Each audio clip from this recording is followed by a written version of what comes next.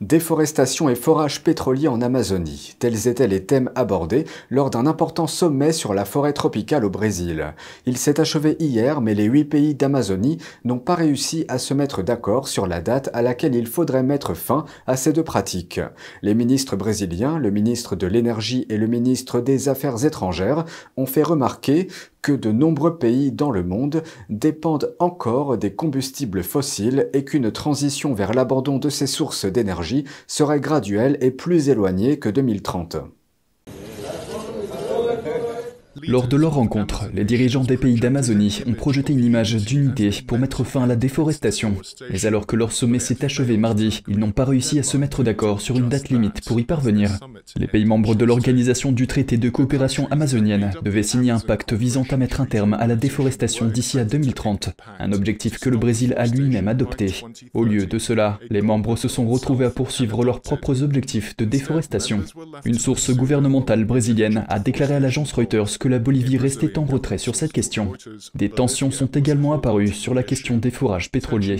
Le président colombien s'oppose à toute nouvelle exploitation pétrolière en Amazonie. En revanche, le ministre brésilien de l'énergie a déclaré que son pays souhaitait explorer une nouvelle découverte pétrolière offshore gigantesque près de l'embouchure de l'Amazone, ce qu'il a qualifié de dernière étape pour le pétrole et le gaz, avant d'opérer une transition énergétique progressive.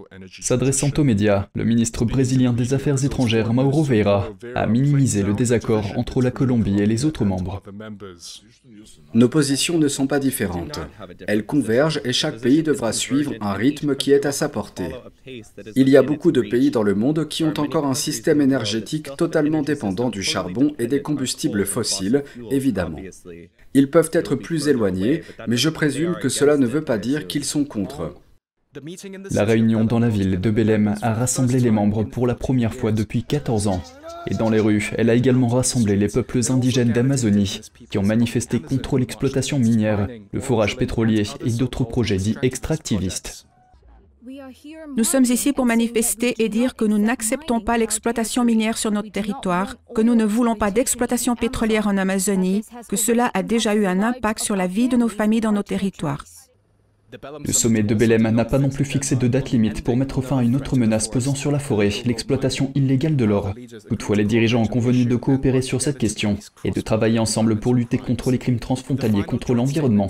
La déclaration commune finale, appelée Déclaration de Belém, affirme avec force les droits et les protections des populations indigènes et les accords sur les positions de négociation lors des sommets sur le climat. Mais en l'absence d'une déclaration forte promettant la fin de la déforestation, les critiques estiment que les décideurs politiques avancent trop lentement pour éviter un réchauffement climatique catastrophique.